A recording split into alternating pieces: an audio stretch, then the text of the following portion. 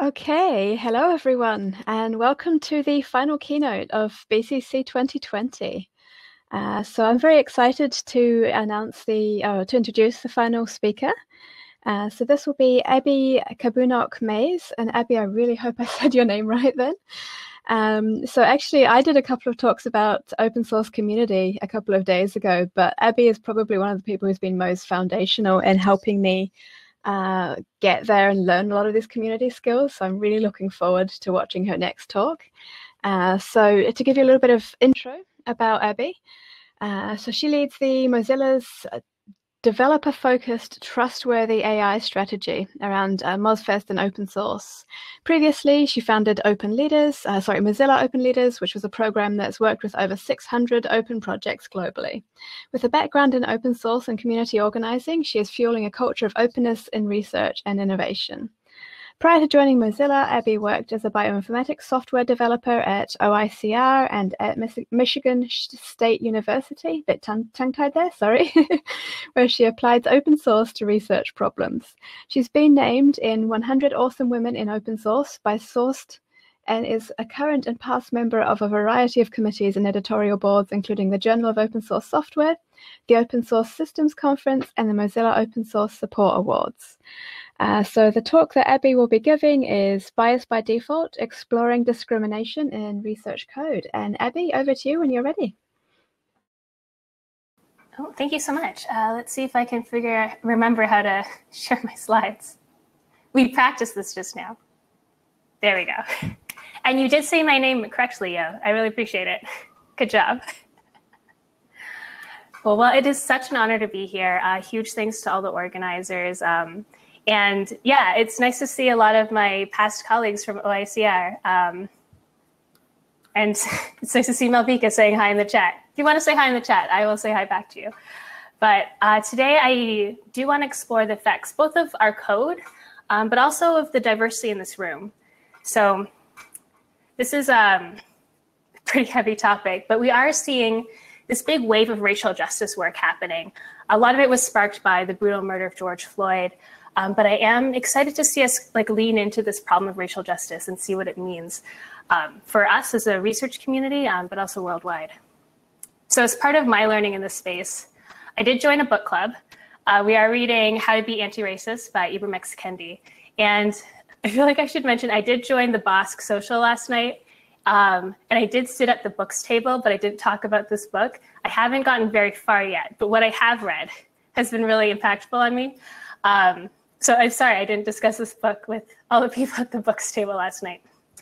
But one of the big takeaways from this, from the first part that I read at least, is um, that the opposite of racist isn't anti-racist, or sorry, the opposite of racist isn't not racist, but anti-racist.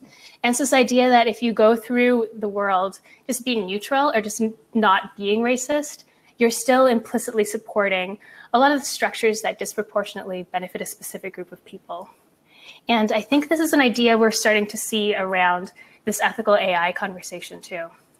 So um, two weeks ago, Patricia Kalluri from Stanford and the co-creator of the Radical AI Network um, published this Nature commentary piece where she says many researchers think that AI is neutral and often beneficial, marred only by biased data drawn from an unfair society.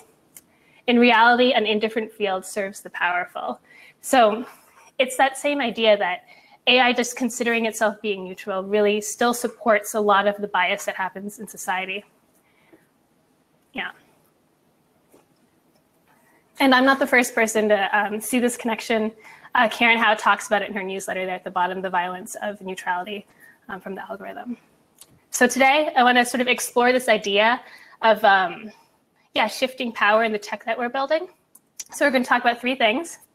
Uh, the first is um, looking at a few examples of how bias in code is affecting diversity in science and how diversity in science really is affecting bias in code. Uh, second, we'll talk about how tech ethics is not new.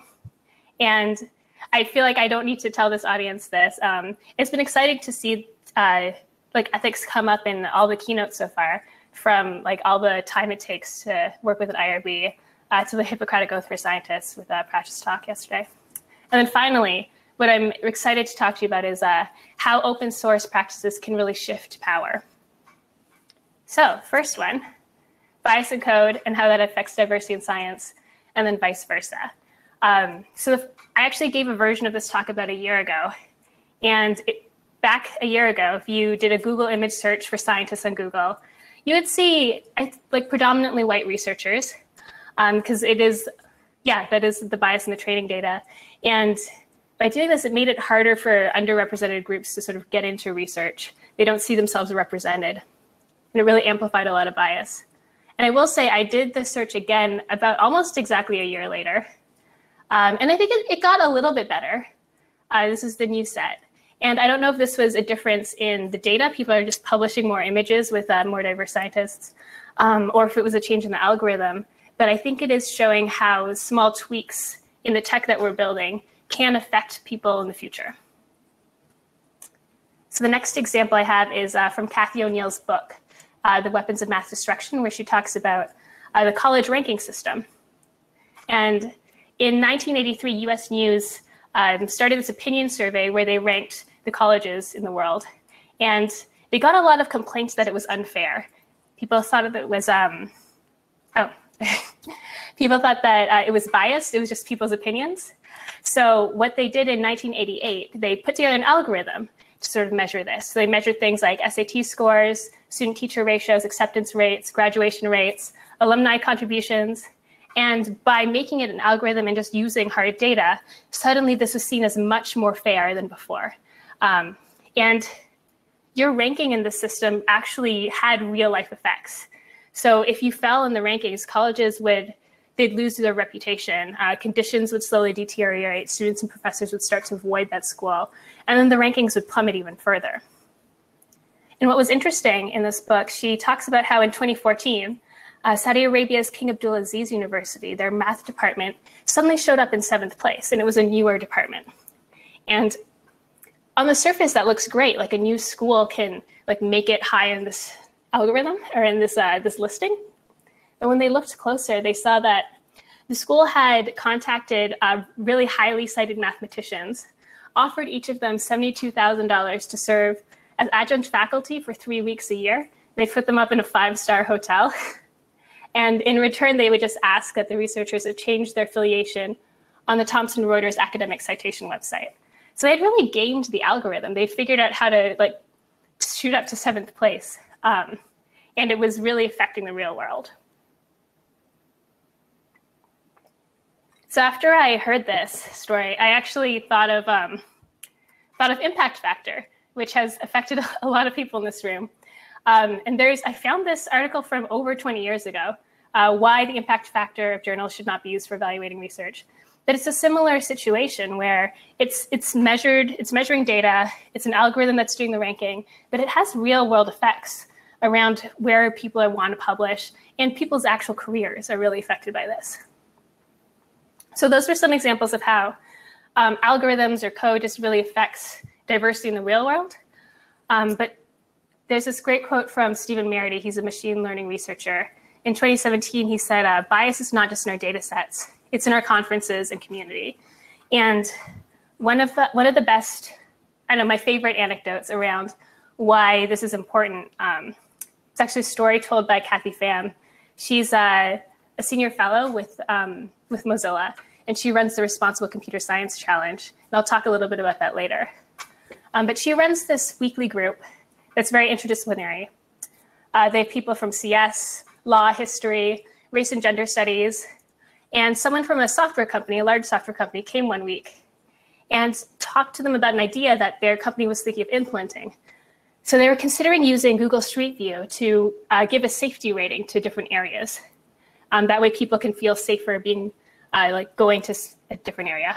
And um, the group, they had a really short conversation, maybe only 10 minutes um, someone brought up the idea like, oh, have you heard of the broken windows theory? And this idea that when the police, when police are looking at the number of broken windows in a neighborhood um, and using that to decide their policing, it really becomes problematic. They have a policing problem, and it's a well-researched phenomenon. And like the the engineer hadn't heard this at all.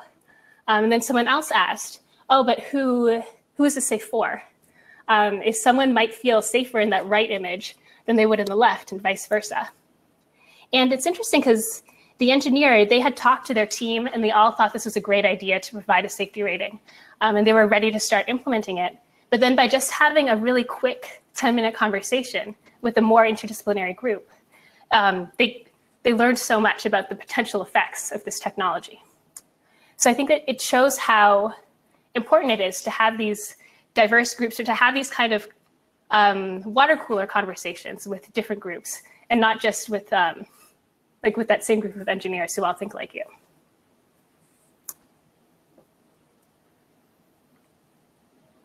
So the last example I'll share in this section. Um, this was going around Twitter about a month ago, uh, but it was the face depixelizer. The animated GIF isn't working right now. That's okay. But you would you would give the algorithm a low uh, a low res image, and then it would output a high res image. And people quickly found out that if you gave it an image of a person of color, it would output a white person. So there's an example of Obama there. And like this was problematic.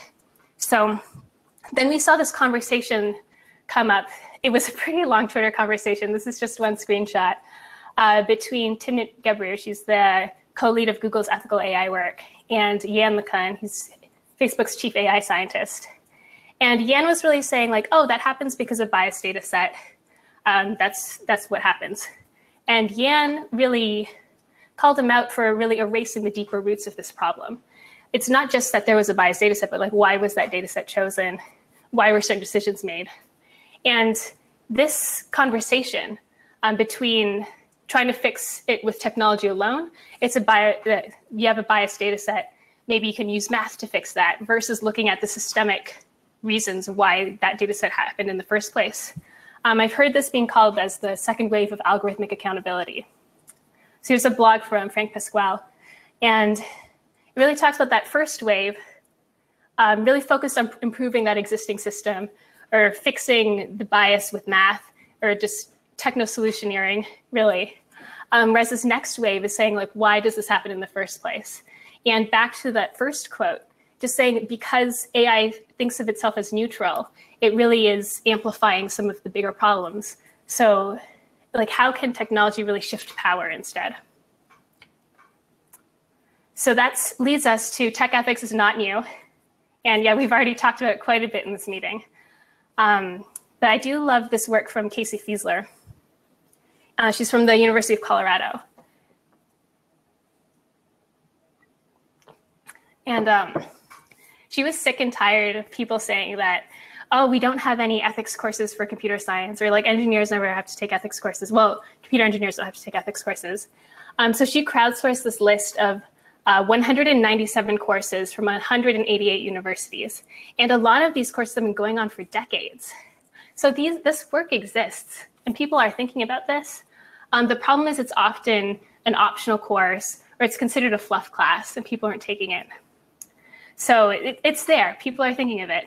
And um, I ran into this uh, algorithmic accountability bingo sheet from Maranke Wieringa. Um, they read 160 articles on algorithmic accountability in FATML and then came up with this bingo card afterwards. And I don't know if you can see my mouse. Oh, you can't. But if you can see in the middle right bottom, there's call for ethical classes for data scientists or engineers is one of them. A lot of people have been calling for that. Um, Another one, not to throw a Cranch under the bus, but there's a Hippocratic Oath for data science it's, being called for there. And I know I've given um, I've given a talk that called for this too. Also talked about self-driving cars. And then in the top right is a technological solutionism, which is that first wave of algorithmic accountability, I think.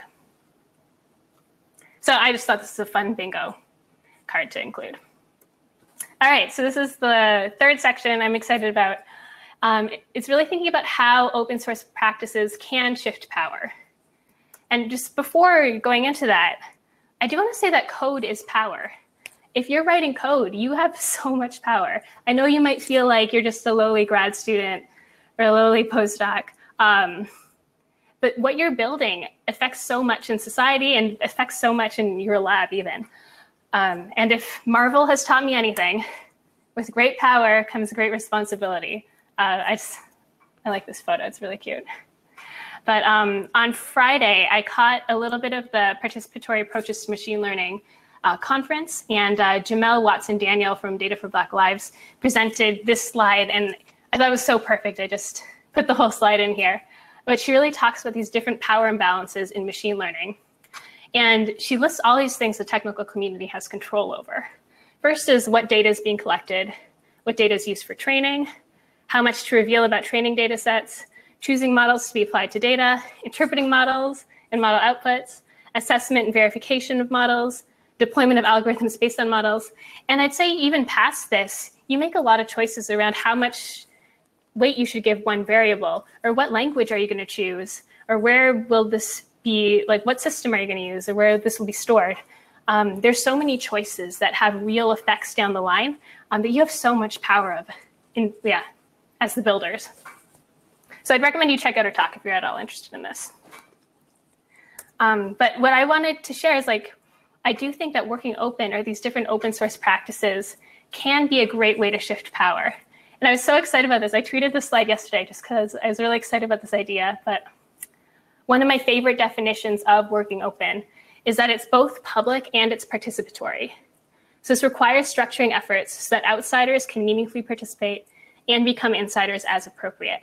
And I'm glad that so many of you are already using open source software and making open source software and really see the power in that.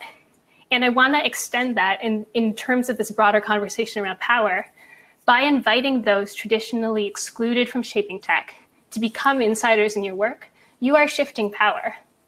Um, it doesn't work if you're only inviting people who already have power. And I will say this is much harder to do than inviting the regular collaborators you work with. Um, it's much easier to collaborate with someone who has a computer science degree, who already understands everything you're talking about. But if you want to have a broader perspective and if you want to shift power, you have to put a lot more effort into making your work more inviting to people who aren't normally represented. So I do want to talk through five open source practices that can shift power. And I normally talk about these in terms of community interactions. So these are five different ways you can interact with your community and build something better than you would have otherwise. Um, but I want to introduce these to you as ways to shift power. So this was a study that um, Mozilla did with the Copenhagen Institute for Interaction Design a few years ago. They, they made these lovely diagrams. So the first is uh, giving. And uh, many of you write your open source software and give it away. So no strings attached, giving of valued products or services. So the example from the study is that uh, Google Android gifted their development platform to encourage new uses by developers. And yeah, there's a lot of advantages to working openly like this. Um, it incentivizes adoption by giving it away for free. If you're trying to drive a standard, by giving away um, a use for free, it really helps helps with adoption of a standard. Um, and you get improved products and services if you have more people using it and giving you feedback. Um, but if you're using this to shift power, really ask yourself like who does not have access to your work, who should have. And I know a lot of times your work is publicly available online and everyone could technically come and try to find it. Um, but sometimes the people who should have that access, they don't know where to look or they don't understand where to find it. So even just intentionally giving your work to someone who really needs it, I think can be really powerful and help shift that power. Um, and then the next two are about listening. So this first one is more active listening, so soliciting ideas. Um, it's about using a community to generate ideas and solutions. And the example from the study is uh, about the Lego Ideas platform, which I didn't know about before. But apparently you can propose any type of Lego kit that you want Lego to make. And if enough people vote for it, they'll actually make that kit, uh, which is really cool. And uh, I, I have so many Lego ideas. I probably should propose some of them. But open advantages, you understand your community better, um, and you have additional offerings that were generated by your community. In terms of shifting power, are there marginalized groups you can be listening to that may be affected by your work? I know a lot of you are working on research software, and it might not be immediately evident who gets affected by this. Um, but thinking downstream or just thinking out of the box, who might possibly be affected, and then getting their feedback on this. And then are there experts from other fields, social science, race and gender studies uh, that you can listen to? Are there people who know things about stuff like the broken windows theory? Um, yeah, that might bring up ideas that you hadn't thought of or concerns that you hadn't thought of. So I know it's harder to reach out to people not like you, but you can try listening to them. And then the more passive view of listening is learning through use. So collecting and analyzing activity uh, to improve products or services. And the example I have there is uh, the Spotify Discover. Um, I actually really like Spotify and it knows my listening habits. So then it generates this uh, personalized playlist for me every week. And um, I, I like it. Um, so open advantages, you understand your users better, you can improve your products, and you can fail fast. If you can see something's not working, you can try something else. But in terms of shifting your power or shifting power, um, it might this might be a good way to learn how marginalized groups are using your software and seeing if there's anything you can do to make it easy for them. And just a general caveat in this one, um, I know I, I, often get a lot of questions about privacy on this. And obviously, um, get data from people with consent and also be trustworthy, like have make sure people understand why you're using their data and uh, that it's actually helpful for them. And yeah, don't sell it. Yeah. Um, and then the last two are around collaborating, two different ways uh, you can collaborate with others. First is creating together, which is like the classic open source creating with a group, um, but share the tasks and costs of achieving a pre-established goals. And the example I have is Local Motors, uh, which invites designers to use an online shared database of parts to co-develop products. And I'm sure many of you have seen with the different open source projects you're running uh, that you have a better product in the end, you lower operating costs, um, and you give ownership to the community. And I think even just watching how BOSC is run, um, or like BCC entirely, um, how yeah, I think this is true for that. You have so many volunteers working on this together, um, and the community really feels like that they own it because you have you have so much community running it. But in terms of shifting power, I think this is the hardest place to really invite outsiders into your work. Um, but who should be part of building this but is not? Is there someone you think who should be helping? Um, and can you invite experts from other fields to build this with you? And like I said, it's if someone doesn't know how to code, it might be much harder to invite them in. Um, but if you you can create pathways that make it easier so that they can be part of this discussion um, and they can be part of shaping what it is you're making. And then this last, uh, last one is around networking common interests. Uh, this is coordinating to ensure that individual activities achieve more towards a shared mission. So this is instead of just a, a project creating together, it's like many projects that have a shared interest sort of seeing their aligned potential and then working together. Uh, sort of like Galaxy and BOSC, just seeing that you have this shared goal and what can you do to do things together um, and learn from each other. So the example in the study was around Ashoka, uh, which is a, a platform for innovators that share an overall objective that each has their own different projects. So the open advantage, you advance the common playing fields by working together. Um, separate groups can help each other, lowering operating costs, and you can improve products by learning from partners. And then in terms of shifting power, this one's maybe more sharing power, but are there aligned projects you can partner with and share power and really lift each other up? So as a summary, here are those five open source practices that can shift power. I hope this helped spark some ideas of where you can invite others into your work. Um, but I think now we can go to table view for five minutes. Can someone pop up and confirm that we can still do this? I forgot to confirm this. Um, okay. should be fine. Yes, that's good. So awesome. So um, just in your tables, um, think about these two questions. One, where can you include others and share power in your work? And then two, who will you include? Is there someone from a marginalized community or some other expert that uh, you think should be, their voice should be heard here? So we'll give you five minutes in your tables, and then I guess we'll show back show up back here in five. Okay.